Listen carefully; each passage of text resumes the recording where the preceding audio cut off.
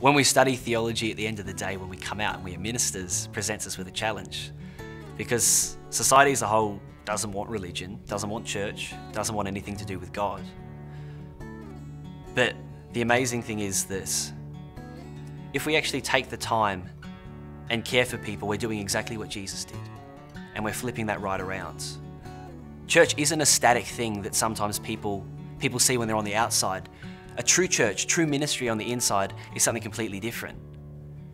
And I think that when we minister, just like Jesus did, going into the world, meeting needs, showing love, flipping the culture of, of this fact that the world will only give you things if you can give them something back. But Jesus shows up and he does the complete opposite.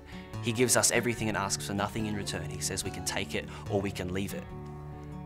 And that's such an amazing gift, and I think that's why, that is why I study here at Avondale, because I want to do that. I want to be part of that counterculture that goes against the world, that doesn't just stand for the idea that I'll only give you something if you give me something back.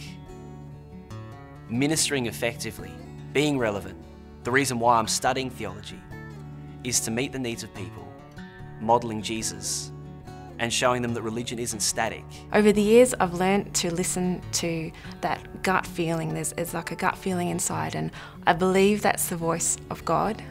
Um, it's something He's proved to me over the years that in different ways that He's provided, and I've followed it. I've taken risks when it hasn't made sense, and and He's looked after me in those times and led me down adventures. Um, it's it's exciting following that voice because you don't always know exactly what's around the corner, but there's a trust at the same time that, that He's providing.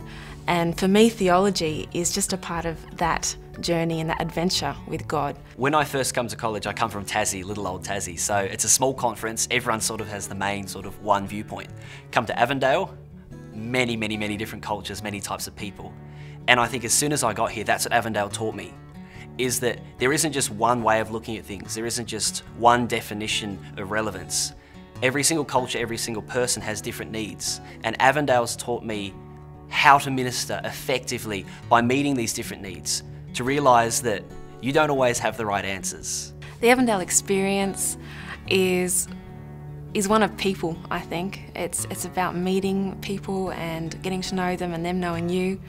It it's a community here. You can walk on campus and people will greet you and look you in the eye and say hi. Lecturers will be there for you to, to chat to. I can knock on their door and just ask, ask them questions and they'll, they'll be happy to talk to me. It's, it's about knowing people.